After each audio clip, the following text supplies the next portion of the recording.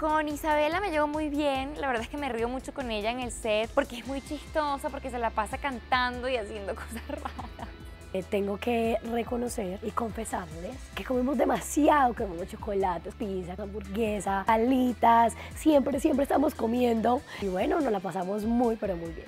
Me encanta que haya gente tan talentosa de otras partes para juntarse como de otras culturas, eh, aprende uno mucho de personas como ella.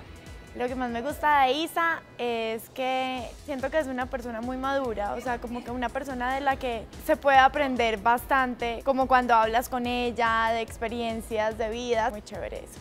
Su sentido del humor, nos reímos muchísimo cuando estamos juntos. Lo que más me gusta de Isa es que siempre está en la luna. Bueno, Luz viene a cambiar completamente el destino de Frankie.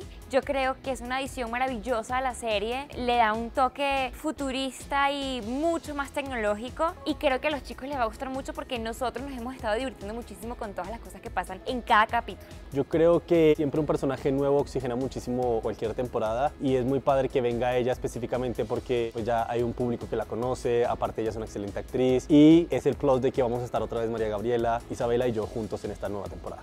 Isa, te mando muchos besos y como siempre por ahí andamos. Todo lo que pasa en los nuevos episodios de Yo Soy Frankie lo puedes encontrar en Mundo Nick.